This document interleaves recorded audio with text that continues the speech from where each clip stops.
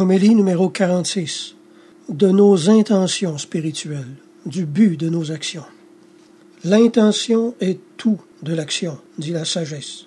C'est ce que notre Seigneur nous donne à entendre également quand il dit Si votre œil est lumineux, votre corps tout entier sera plein de lumière, c'est-à-dire vos œuvres brilleront devant Dieu.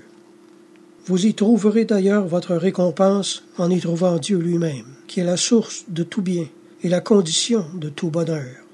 Ce bonheur rêvé, quel est-il? La gloire et le plaisir? Ils ne sont qu'en Dieu seul. La richesse elle-même, qu'est-elle sans Dieu? Un néant qui n'emplit point le cœur. C'est là une vérité difficile à comprendre. Pour la bien saisir, il faut considérer les châtiments réservés par Dieu à ceux qui rapportent tout à eux.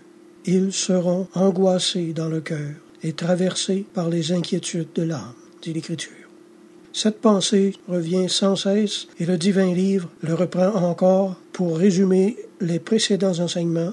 C'est là, dit-il, la vérité qui doit mettre à néant la vanité. Dieu seul, telle était la devise de saint François de Sales. Telle devrait être la règle de tout chrétien. Dieu est le seul but de notre vie. Il doit être la fin de toutes nos actions. Saint Paul le recommande. Il dit excellemment Dieu doit être l'objet de tous nos actes.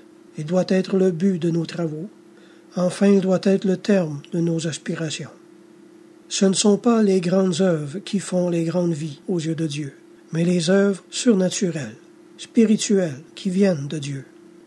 Il faut former, dès son réveil, l'intention de tout offrir à Dieu dans la journée.